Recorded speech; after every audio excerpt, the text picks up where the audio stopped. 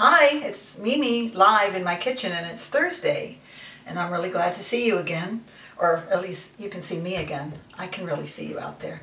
Um, this morning on my walk I was thinking about gratitude and when I was a little girl my mom used to say eat everything on your plate because there's children starving all over the world and I used to think to myself well how how is me eating everything on my plate going to feed the children? Now I get it. Now I get it. What she really meant was be grateful that you have that on your plate and finish everything. We're so used to turning on the water and having beautiful food and turning on the lights and having electricity and we forget to remember how many people in the world don't have that. And so when little things bother you, You've got to pick your priorities and know they're just small things that will pass and just look at the gratitude.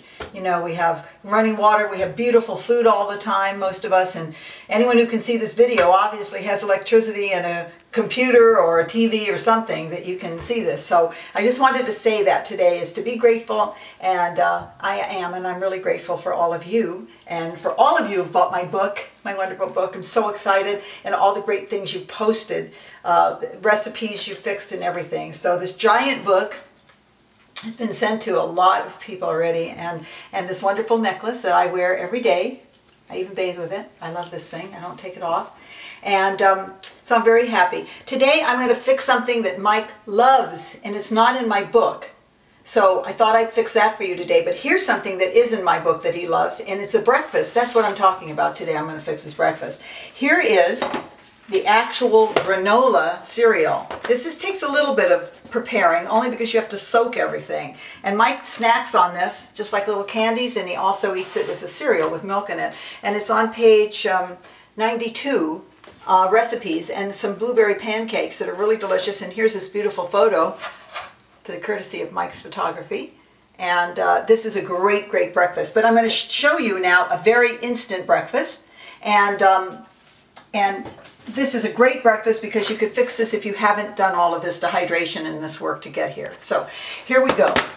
Make this very simple for you. I used uh, a cup and this is for two people, but you can really feed three with it. I have a cup of almonds here that I've pulsed in the uh, food processor. You can use any nut. You can mix it. Some pieces are big, whole, chunky pieces. Others are ground up. That's how you want it to look, kind of a combination of both. So that's a cup in here. When it's ground up, it looks like a lot, but that's just a cup. And um, you could use Brazil nuts and anything you like. So you're going to put that in your bowl. And then you can chop up, you can see there's quite a few larger pieces in here, which are really nice.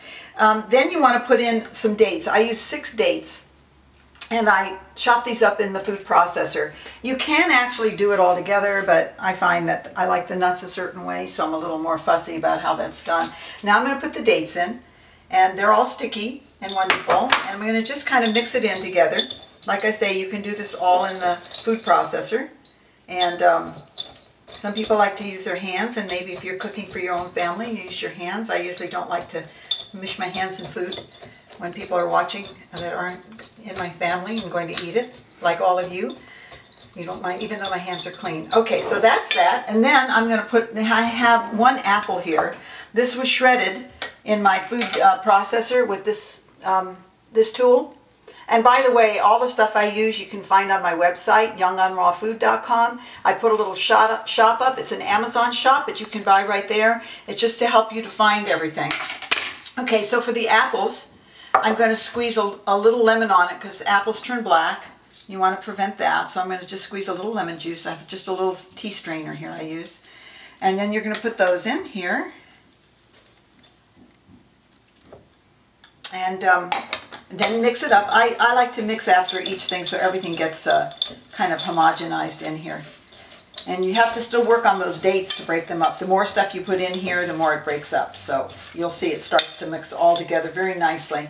Then I use one of my favorite things, good for the inside and the outside, coconut oil. I love this brand. This is They have many brands, but I've been using this for a long time on my face, on my arms, and well, everywhere. and I cook with it. I use it for a lot of things. So we're going to put this in here, and we want to chop that up too. So the only the only thing in here is it's very fast. Seriously, this is like one quick breakfast. Your company comes over, you can make them a gourmet breakfast in like minutes. Uh, everybody in your family will love this. It's really a great breakfast. Now it's starting to get very mixed up. And I really want to make sure that all the coconut oil gets in everything because that's part of the yummy taste in all this. And speaking of coconut, I also want to put, this I'm going to put on myself later. I'm going to smear it all over me. Okay, not in front of you though. And now we're going to put some big flake coconuts in. These aren't the little, little shredded ones. And I think I have these on my site too, but see, they're larger pieces. We're going to put some of those in, half a cup. You, you go to taste. Mike happens to love coconut, so any kind of coconut. So again, we're going to mash this up a little bit. Get all that going. Mmm, this is so good. Now I've got a mixture of raisins and uh, dried cranberries, and you're going to put about a half a cup in. Again, you can do this to your liking. And that's about it. So this makes a delicious cereal, a little cinnamon. Now I don't use any more sweetener, but if you taste it, apples and all the stuff that's in here is pretty sweet, but if you like things a little sweeter, no harm in putting some coconut aminos in or some agave if you use agave or some stevia, whatever you use. I'm going to put a, sprinkle a little cinnamon on here cinnamon, very good for you. By the way, I never really tell you all the vitamin and all the healthy uh, properties of the food I use because I hope you all know I only use food that's healthy. I don't fix anything that isn't healthy for you. Well, anyway, this is the cereal, and it is beautiful and it smells good with the cinnamon in it. Now I'm going to plate it for you. I'm going to make one little plate here of this cereal, and um, I wish Mike was behind the camera, else I'd have him eat it. See, now this can this can go for three people. That's a really big, that's a big portion.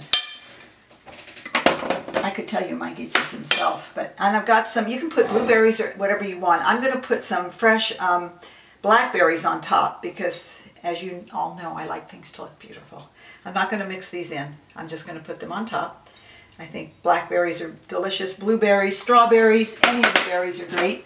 I want to put in a little bit of banana.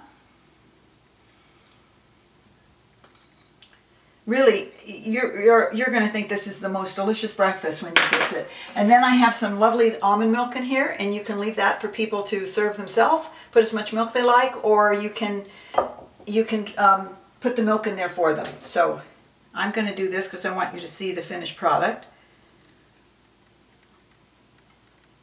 That's about the amount of milk I like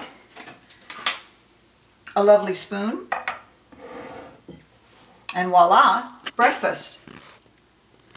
And it's so easy and it's so delicious, which is things I like, very delicious. And um, again, you can find uh, the first recipe that takes a little longer in my book, and this I will post on my website, youngonrawfood.com, in the recipe section. Mike will take a picture, a nice picture of it, and we'll post a photo and I'll post the recipe and you can go there and see it and get the exact amount of everything. And always be creative with your food. Add some, if you have a taste for something, throw it right into the recipe. These are perfect the way they are, but please add whatever you like in there. And again, thank you all for buying my book. I've been getting some really, really nice reviews, not only from people who bought it, bought it but from you know, people who are actually reviewing the book and review the book. So this is very exciting for me. And I think that's all I need to tell you today, although I have so much always to tell you. But be grateful, be happy, be so grateful that you have beautiful food to eat and wonderful friends and companions and Facebook and everything else that you could be grateful for. And I'll see you next week, and I love you very much.